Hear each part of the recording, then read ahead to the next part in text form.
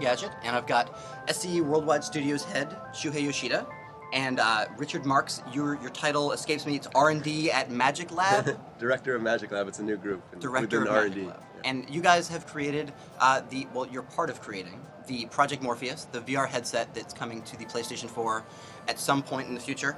Uh, I don't think that we have a, an idea of when yet. I think not this year, right? That's what you guys are saying yet so far.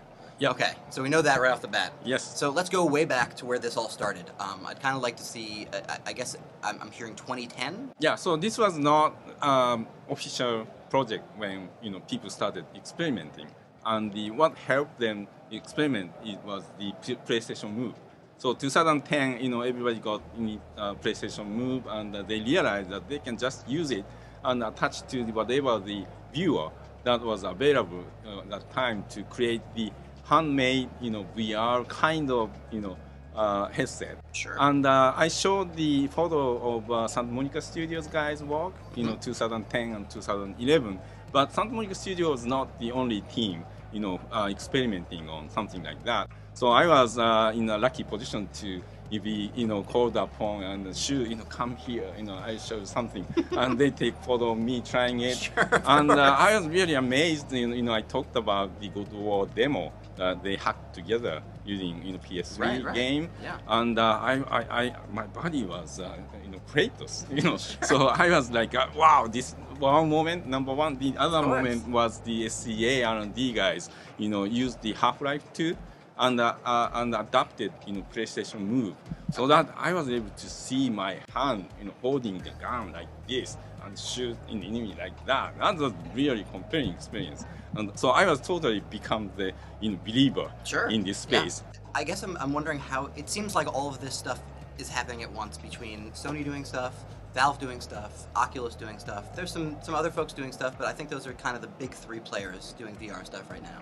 And it it seems like too much of a coincidence for this all to be at once. Yeah, it's not a coincidence. I mean, this happens in, in technology, right? There's Sure. all the pieces become possible, and then it's just putting them together the right way. And the display technology, the uh, the graphics horsepower it takes to render it all, the tracking, all those things had to happen for it to be a good experience, and they all they're all available in different forms to different companies. But Sure. you know, and that's why you're seeing it happen now. And uh, talking about the you know, driving you know, experience, actually the Evolution guys you know uh, experimented with their uh, own code base, you know, uh, with early prototype, and uh, to to to just clarify one thing, there's a rumor that the reason that the Drive Club was pushed back was to you know to make it compatible with you know Pro- Project Morpheus, and that's not totally true. Not You know, totally true. That that's not true at all. Okay, there we yeah, go. Yeah, that's not true at all. So they are big believer in this space, but they had to stop work on that, you know, to get the drive, you know, drive club out. So their sole focus is to get the game out, but they were working on, you know, early prototype, Sure. you know, before the drive club was in uh, full, you know, development.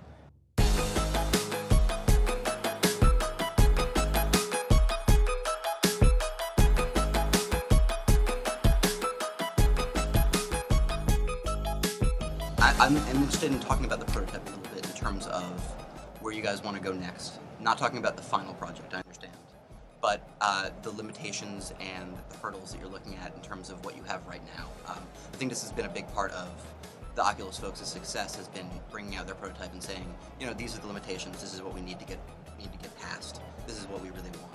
So, what is that for you guys? Well, there's a variety of things we know we can improve on. I mean, all the things that I listed in our talk about the display technology, Sure. even the sound technology and the tracking technology, and even the controllers we know we can do a little more with than we're doing now. All those things we can get better.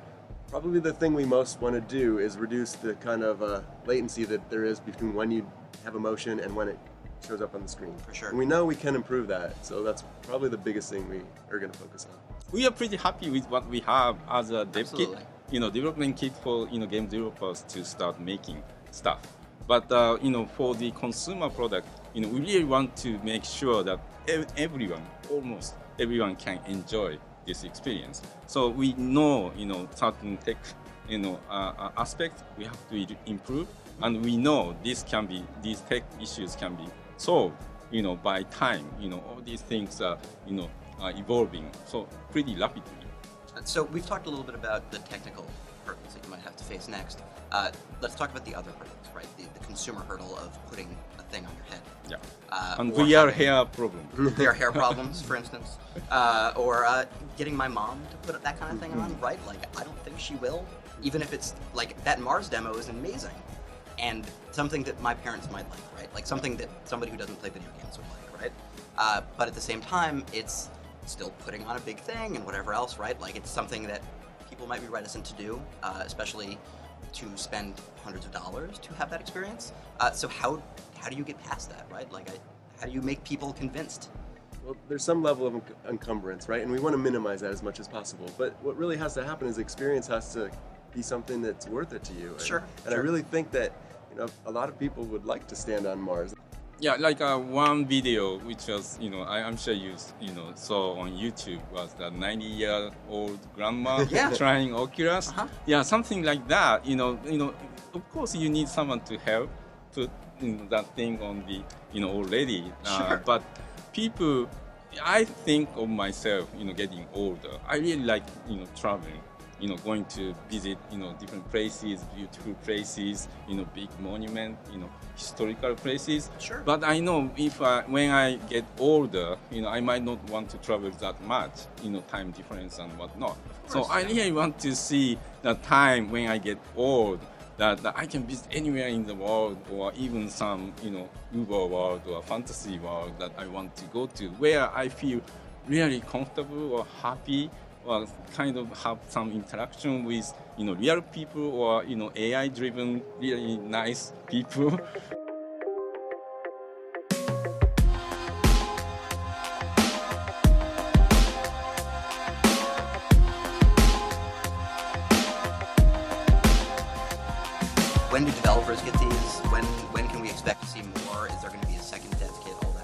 the big step is to produce in volumes of this, you know, prototype as dev kit and get in the hands of as many, you know, PS4 game developers. And uh, we know that many developers are very interested I'm to sure, work yeah. on it. And I have huge hope, you know, for indie developers because they come up with really great, you know, new ideas. Sure. And uh, one of the event, you know, in uh, Kyoto in Japan last week, there's an event called Bit Summit. Yeah. That's uh, about you know indie games, and the there's an award. The top award went to a team who created you know games on PC with Oculus, uh, Okay. Oc- Oc- using Oculus and headset. Uh, was called you know Zombie Taxi Driver. It's like a, you know a, a crazy taxi kind of game. You Sure. drive the car in a first-person view and you pick up zombies, and uh, you, you know there's a zombie sitting next to you and creating some you know str- str- strange sound in, in your ear or like that. That's kind of ideas, uh, you know, very indie spirit. So uh, I'm so excited to be able to get in the hands of indie, you know, PS4 developers. So you know, we really want to give a lot of time to developers so that they can come up with really interesting new uh, ideas and demos, and hopefully uh, by E3, you know, uh, you know, I, I, I'm- I'm so looking forward to seeing some new contents on this. So developers already have it then? Is that the, the idea? Uh, not yet. Not yet. Yeah, yeah. So far, there are very small number of kits were created and Right. uh, worked very closely with uh, you know our hardware and uh, software tech team. But at this stage, you know, the uh, prototype is stable enough that the we can give to many more teams because you know the tech support will be much much easier at this point. Yeah, I mean, from a development point of view, this is basically a, a line where we're saying this one will be supported for our developers. And then we again start to iterate again on it with a small number of people, but a large number of developers use this kit. This kit, right? Right. So uh, if I'm a developer and I want to start developing on Project Morpheus today, how do I do that? Yeah, contact Adam Boyes, you know, send tweet or Shuhei, Shuhei, At AM Boys. yeah, or Shuhei. you know. Sure, Yeah, that's a good start. Okay, fair enough. All right, well, thank you very much, gentlemen, and uh, we look forward to hearing more about Project Morpheus in the months to come. And get an idea uh, for how these uh, this works, right? So I, I, I am in the world, and it's tracking my body. The uh, PlayStation uh, camera is tracking my